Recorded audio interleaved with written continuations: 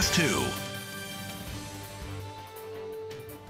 Good morning, everyone. I'm Suzanne Le Mignot. We're interrupting programming because Chicago Mayor Lori Lightfoot is about to have a news conference to Um, talk like about to the latest on coronavirus. city Let's listen in. Nonprofit leaders for joining us this morning and for their outstanding, and let me say that again, for their outstanding support during this crisis. There's no mistaking it. These are unprecedented times. As you heard yesterday from both Governor Pritzker and myself, the state of Illinois will be under a stay-at-home order beginning at 5 p.m. this afternoon until April 7, 2020. As a reminder, this means that residents will be ordered to stay in their homes except for essential travel. Here in Chicago, this is what this means. Let me say at the outset, this is not martial law by any means. Residents can still go to their grocery stores, food banks, convenience stores, and make pharmacy runs. And also, people can continue to go and patronize their neighborhood restaurants for pickup.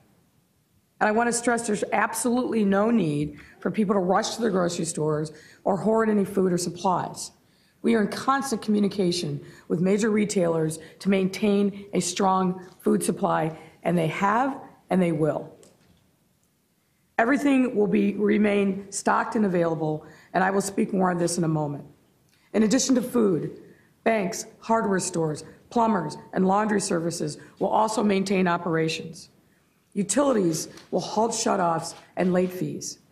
Chicago roads will be open, and our CTA transportation will be running, and private services like Uber, Lyft, and other rideshare are up and operational. I want to give a special note of thanks uh, to the men and women of the Amalgamated Transit Union and all CTA workers for their sacrifice and service during this time. I also want to emphasize that residents are permitted to take walks outside. My wife and I took a walk this morning, a little brisk, but good for the soul. Just want to make sure that you maintain safe social distancing. I also want to remind everyone that essential city services will continue. First and foremost, our hospitals, clinics, and healthcare facilities are open and treating patients. And again, I will try to say this every single time I'm in public.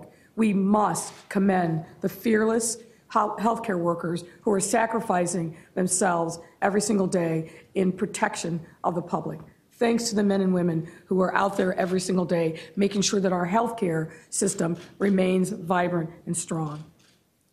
Also, our first uh, responders, police, fire, paramedics, uh, call takers and dispatch dispatchers, garbage, sanitation, as well as our city staff, will continue working around the clock as we address this challenge and flatten the curve to get our lives back to normal.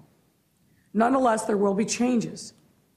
And we've been dealing with those changes all along this week. So the governor's order yesterday really is in line with what we've been advising and what we've been practicing in the city. In addition to closing bars and nightclubs, entertainment venues, and restaurants for dining in, any business not essential must cease all activity, with the exception of minimum basic operations, unless you can operate in home. The city of Chicago will be closing its libraries, parks facilities, and community centers. And we are fully aware of the challenges that this places on communities and residents from every walk of life. However, these actions are needed to halt the spread of COVID 19 and support the dedication and sacrifice of our healthcare workers. They're out there supporting us, so it's our job to stay at home to support them. Tomorrow, my office in partnership with Sittercity, will launch a new program to help Chicago's most essential workforce healthcare workers, first responders, and the teams that support them. This is intended to help them find reliable childcare that will allow them to continue their work on behalf of the city uh, amid this COVID 19 crisis. Finally, I call upon everyone to please remember to check in on your neighbors, especially the elderly and those with medical needs. I've said this before and it bears repeating. While this may be a time of physical isolation, we still need to be bonded together as a community. And one of the most important things is doing check well beings on our friends, families, and our neighbor, and particularly those people that we know in our network that are vulnerable, that may be isolated, and will need just a little bit of support from a friendly voice on the other end of the phone. Please don't forget to do that. It's critically important in this time. I would now like to share some additional information about our food supply. In addition to grocery stores, uh, food banks, and convenience stores remain open. I would also like residents to know that CPS will continue to provide packages of food to families in need. Offering free, free packages of food that contain three days' worth of meals for every child in a household. Food can be picked up between 9 and 1 p.m. every weekday during the stay-at-home order at the CPS location nearest to each student. And that means you can go to any location that's convenient for you, not necessarily your home school. Meanwhile, we are working together in collaboration with these folks, the Salvation Army, the Greater Chicago Food Depository, and the Catholic Charities of, uh, uh, Catholic Charities of the Archdiocese of Chicago to ensure, ensure food access for all Chicago residents who may be in need during this COVID-19 crisis. Specifically, the Salvation Army's Metro uh, Division Emergency Disaster Services will be providing mobile feeding services and are able to prepare 75,000 meals in 48 hours.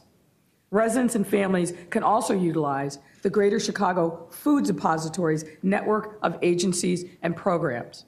Their benefits outreach team is also available by phone to help Chicagoans apply for SNAP or Supplemental Nutrition Assistance Program and Medicaid benefits.